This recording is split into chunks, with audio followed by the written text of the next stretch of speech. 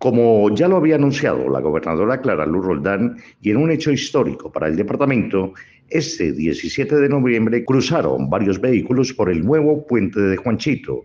La superestructura ya está unida en su totalidad. Fue la misma gobernadora la que cruzó por el puente, cumpliendo así la promesa que les había hecho a los vallecaucanos de que en noviembre estaría lista esta importante obra para el departamento. ¿Cuál es la sensación hoy cuando ya ve que cumple ese sueño que usted tenía? No, una alegría muy grande, sobre todo para decirle a todos los vallecaucanos que como se los dijimos, el puente lo íbamos a terminar, miren la calzada de allá, totalmente cerrada, este era la última dovela que nos hacía falta y esa dovela es la que cerró ya la otra calzada, o sea, las dos calzadas ya están totalmente terminadas.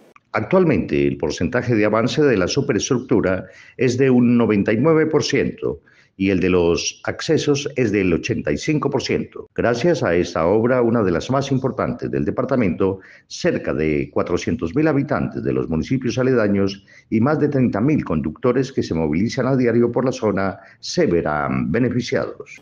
Y ahora eh, pues es trabajar tanto en, los accesos que llaman la, eh, tanto de Candelaria hacia Cali como de Cali hacia Candelaria. Eso es lo que estamos trabajando, pero ya vimos que pudimos entrar al puente, ahí vienen los carros y van ustedes a poder grabar que vamos a poder salir del puente también,